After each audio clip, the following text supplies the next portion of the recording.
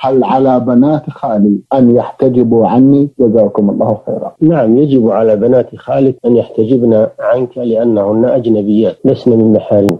إلا إذا كان بينك وبينهن رضاعة محرمة فحينئذ تكون من محارمهن. قوله صلى الله عليه وسلم يحرم من الرضاعة. ما يحرم من النسب. في رواية تحرم الرضاعة ما تحرم الولادة. إذا كان بينك وبينهن رضاعة فإنهن من محارمك ولا يحتجبن منك. أما بدون رضاعة فهن أجنبيات يجب عليهن الاحتجاب منك. نعم.